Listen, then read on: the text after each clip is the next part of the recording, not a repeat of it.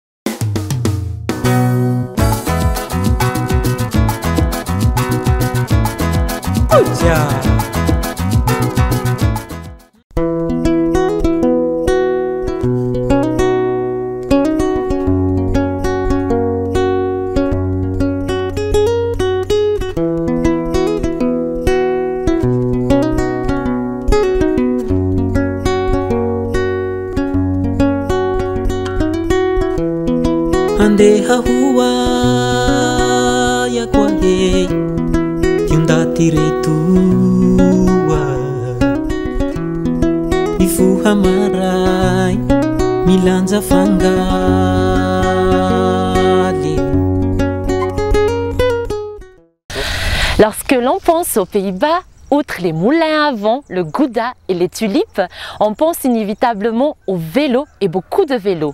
Dans le monde entier, ce pays est classé pour être le paradis des cyclistes car on dirait même que 17 millions de Néerlandais possèdent 22,1 millions de vélos. Face à cette statistique qui est très importante sur l'utilisation des vélos aux Pays-Bas, Madagascar n'est pas en reste car ici aussi, le vélo ou la bicyclette est un des principaux moyens de transport incontournable au quotidien des gens.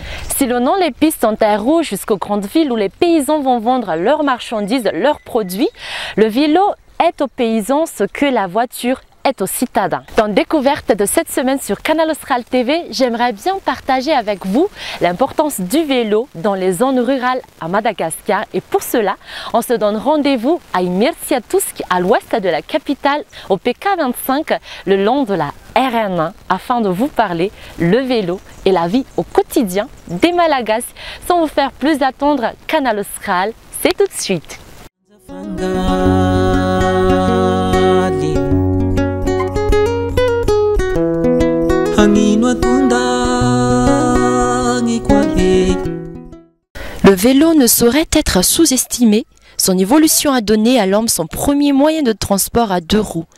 Il est bien de savoir que la première bicyclette a été inventée en 1817 en Allemagne par Karl von Dreis. Appelée la Machine, qui signifie machine à courir en allemand, elle a été brevetée en 1818 en tant que premier transport orientable à deux roues et elle connut un succès commercial. Il est arrivé même à Madagascar, un pays où les routes sont principalement des pistes.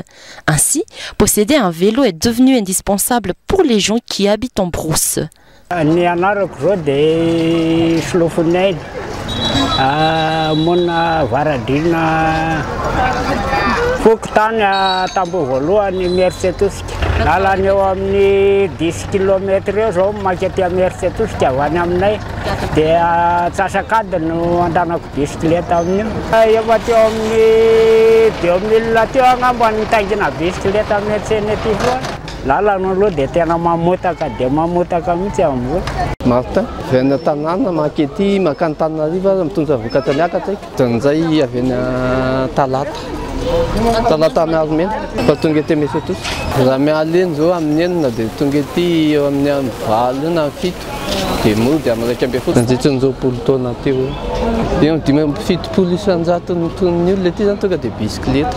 Renarako Olivier. Misy anah aloha zao avy any Ambohimandry. Dia varotra anay aloha dia arakaraky ny tsena indray hoe mandeha ny tsena moa dia tafa adiny iray ato an-tsena na adiny roa.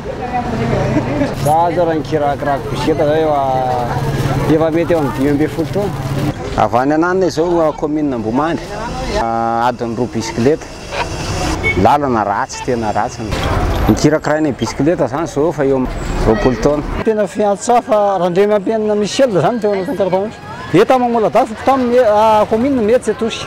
Ny tena itateran'ny olona entana zany an, resaka hoe bisikileta malaza sy ny sarety. Voary menaraka, benakaikina tongotra, dia ndeha haka provent. Tsisy hoe lehilahy tsisy hoe vehivavy fa mitondra daholo. Tena misy antsika moa izany izao eto amin'ny station Mamers surtout tale mankany ambanivohitra atongony. Ny zavatra anankiray azo marihana angamba amin'izao fotoana fahavaratra izao moa izany dia ny tantsaha ao anatin'ny tena fotoana fitaterana vokatra. Anisan'izany manga sy voatabia. Dia saika amin'ny alalan'ny kodiaran-droa toy ny bisikileta, moto. ireo nitaterana azy aty sarety. Voalohany indrindra aloha efa ela ihany raha tsy hiteny aho hoe angamba efa ohatran'ny efapolo na dimampolo taona teo no nampiasaiko an'io. Eto Meriseto isika mankany amin'ny lalana mankany an-tongana iny, izao moa eo amin'ny roapolo minitra eo ho eo izany. Ety antsika izao eto Meriseto isika faritra tsena kely, izay izany dia mivarotra piesy momba bisikileta, piesina vy oloko. cyclopus. Dadamo. Dihitsika zany a zanatany eto Amambolada a de tranompokonolona eto a zany no mba miasa. Ataonay ny manamboatra libre maty manampina folo taona latsaka kely zany zay miasako teto. Avy any Soavina Moralana Tongona andeha ho eny Imeritsiatosika adin'ny iray mahery. Efa ela, efa tamin'ny efa nanomboka valo dimy ambin'ny folo taona.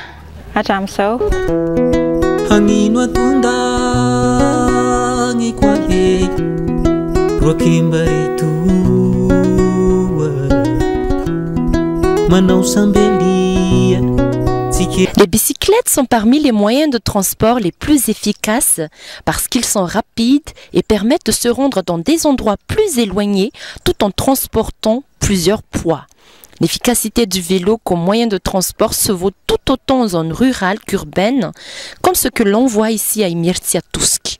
En comparaison à la marche, encore très présente dans plusieurs villages et hameaux, le vélo permet de gagner du temps et de transporter davantage de charges.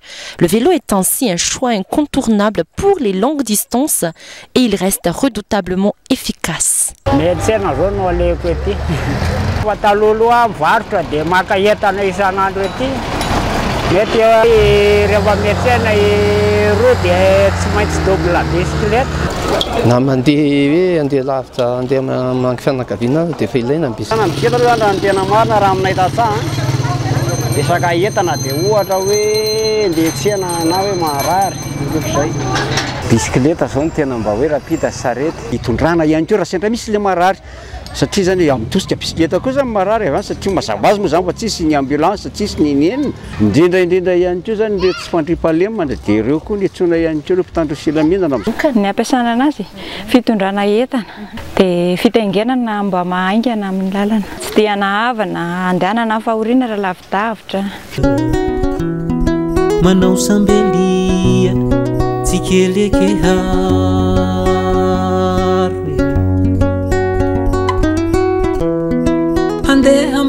Symbole de prospérité socio-économique, très utile au quotidien, le vélo et la charrette sont très importants à Madagascar. Ces deux types de moyens de transport ne cessent de trouver davantage d'utilisateurs, aussi bien en ville que dans des milieux ruraux. Faute de moyens pour s'acheter des voitures plus modernes, mais surtout par tradition. Depuis l'époque coloniale, au début du XXe siècle, où on les avait pour la première fois, le vélo circule et roule le long des pistes rurales et les routes carrossables de la Grande Île. À Madagascar, il est aux paysans ce que la voiture aux citadins. Bisikileta ndray tsy tahan-dalana na ratsy aza ny lalana na avo ny orana.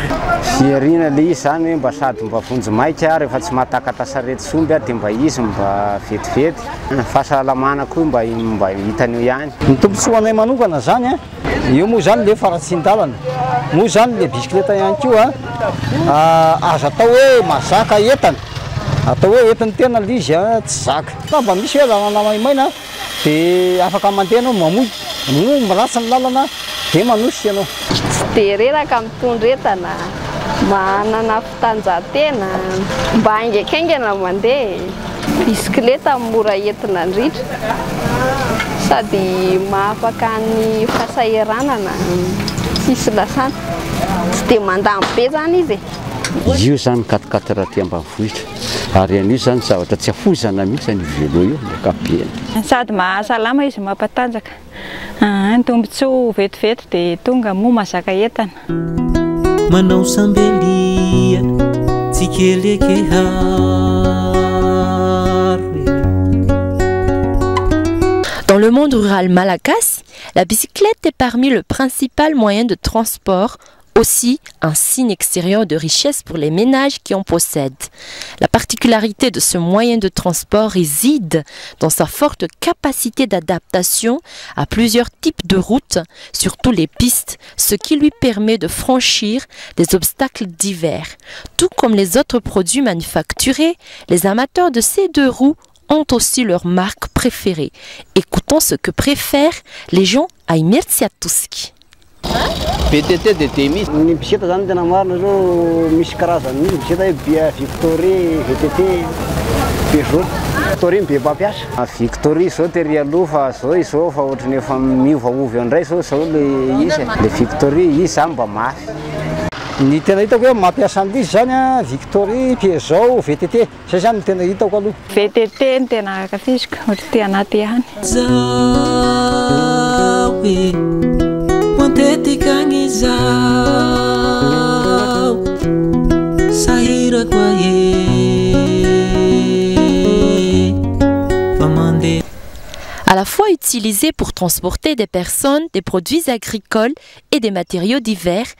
Ici, nombreux paysans quittent très tôt leurs paisibles hameaux et villages avec leurs vélos, si l'on a une piste en terre rouge jusqu'aux grandes villes pour vendre leurs marchandises.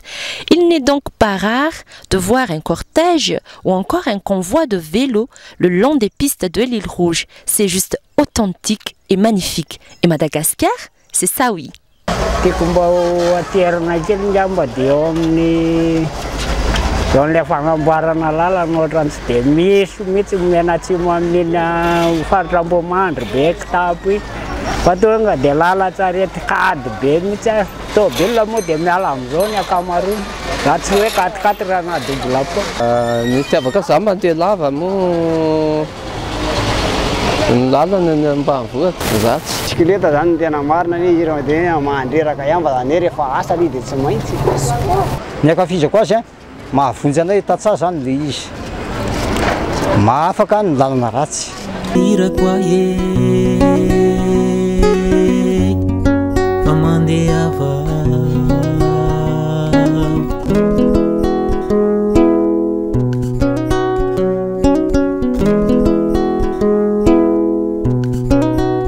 Découvrir Madagascar autrement, c'est aussi profiter pleinement de l'ambiance et de l'atmosphère malagasse en prévoyant par exemple quelques-uns de vos déplacements par le biais de la bicyclette aussi charmante qu'atypique.